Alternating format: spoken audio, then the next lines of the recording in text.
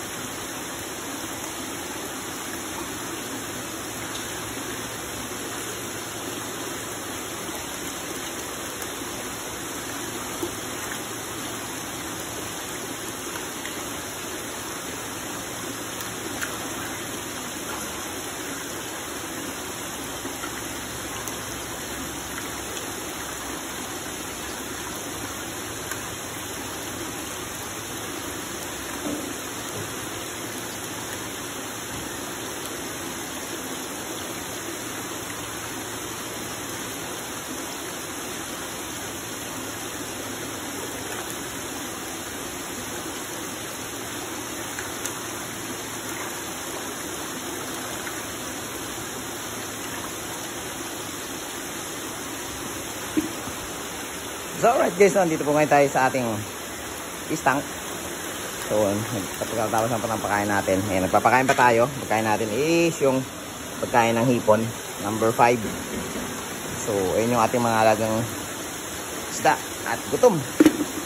Gutom sila. So, tatlong beses tayo nagpapakain dito ng ating mga fry. Umaga. Alas 7. Tapos, 9.30. Tapos, 11. 11 ng tanghali. Tapos, alauna. Pagkatapos ng alauna, 4.30. So, ayun na lang. Lima pala, limang beses sa isang araw pala tayo nagpapakain dito. Pero pag mga malilit pa lang yan, 4 cm galing sila, is binibigyan natin 1, 1, 1 and a half time, nagbibigay tayo ng pagkain. So, kasi ito malalaki na to eh. Nasa around 5 to 6 inches na to. 5 inches na to mga to. So, konti lang yung binibigyan natin.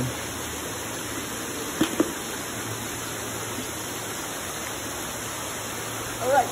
Wow. So, ayan. Dito tayo. Ah... mahaba na yung allotted time nila para pakainin natin. Just like pag fingerlings kasi mabilis sila magutom para bumilis lumaki. So ito kasi ano, nag-aantay na lang to na mag umabot ng 6 in, uh, 6 inches. Then dadalhin na natin sa fish pen, lilipat natin sa ating grow out sa fish pen. So ayan. Okay guys, so thank you, thank you guys. Uh, this is Igbayog Agri at ATV. Maraming salamat po sa inyong panonood. Ito po yung ating content ngayong araw na to. Ang ating mga alagang fingerlings dito po sa ano, sa circular pan, ginawa nating ano to, fish. Yung circular pan is number 8, number 7, and number 6. So, nun yung number 1. Bali, 2 column. 2 line, tapos 5 column. Tama ba ako? Line 1, line 2. Tama. 2 line, tapos 5 column kasi 10 tong butas na to. Ayun doon pa yung iba. Ayun, ang yan pang 5, itong pang 10. So hanggang dito na lang guys. Maraming salamat and God bless po sa lahat. Bye bye po.